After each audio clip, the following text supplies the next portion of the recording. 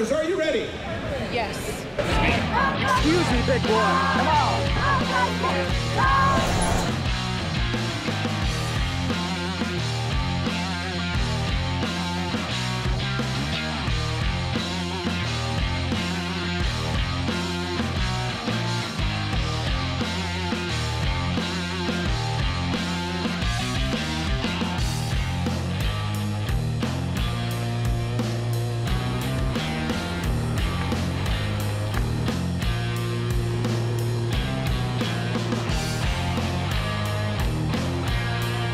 Oh,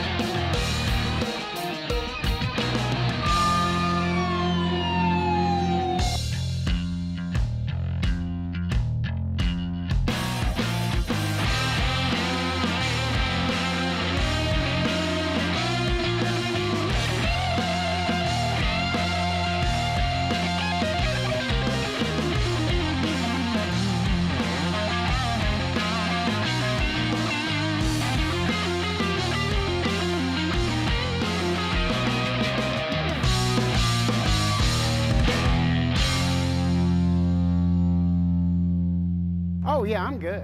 Yeah. Yeah, ain't nothing to it. Breaking news this plume of smoke so large it could be seen across the city. Thanks for watching at 5. I'm Jessica Shambach. I'm Abigail Ogel. KOCO's Dillon Richards is there live tonight. And Dillon, you spoke to someone who was inside this home moments before the fire broke out. I did, Abigail. He had left about 10, 15 minutes before the flames kind of started shooting out of this house. I want to show you a very active scene here. Thankfully, uh, no massive flames anymore, but fire crews continuing to look through as this continues to be a very active scene. Look through, find those hotspots, make sure those are out as they continue to investigate how this happened and make sure the fire is completely out. Flames shooting out the side of this two-story white house, thick black smoke clouding nearby streets visible from miles, attracting a crowd. Roberto Torres tells me he had just left that house and then saw the massive flames. Yeah, I was like my friends, you know, because my friends, uh, you know, some of them were still here. Yeah. So I ran down here and make sure everybody was out, and everybody was out. Everything I own is in there. And my husband, I just lost my husband. His ashes is in there. But I got my dog out. Came from a background of trauma, abuse, neglect. Is back in DHS custody. Imagine how he's feeling right now. Jennifer says she received documentation from DHS detailing witness accounts of children walking barefoot in the early morning for dozens of miles without coats, allegations of starvation and verbal abuse. My son won't be going back to the ranch. I called Bill Sutley, the program director for Ranch for Kids and he says those allegations are not true. So none of your staff members have ever verbally abused any of the children at the ranch? Oh, of course not. This is a place of hope and healing.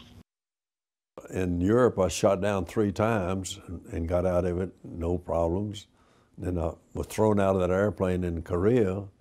Against the Red invaders from North Korea, U.S. planes and U.S. ships are ordered into action.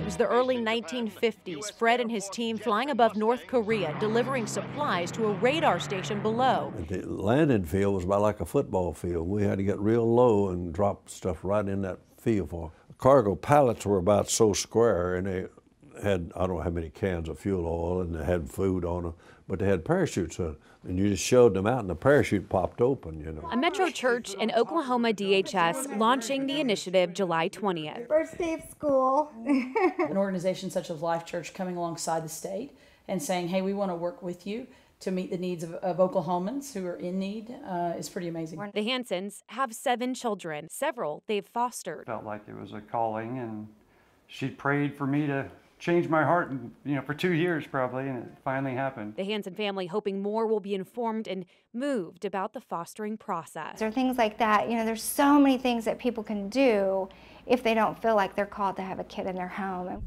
There's energy within it, and we're just harnessing it.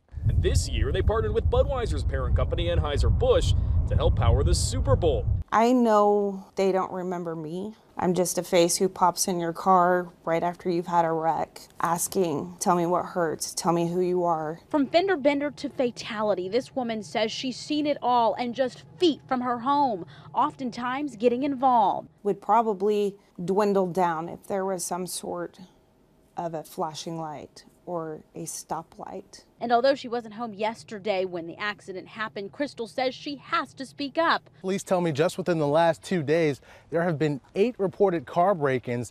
They tell me it's as simple as thieves going from door to door, checking for unlocked doors, looking for anything of value in sight. Auto burglar can start down at the end of your street and just try 10 or 20 or 30 cars, car handles. You might find half of them are locked. He'll move on to the next one, and if that car is unlocked, it's easy just uh, open that door, stick your head in there. Caught red handed. Yeah, Abigail and Jess, at the start of the new year, the Logan County Sheriff's Office received new cameras, and that technology allows them to see those inmates anywhere. This digital upgrade is about safety. They can be playing cards, and you can almost tell if it's an ace of hearts. And the sheriff's office says it's well worth the cost of just over $150,000.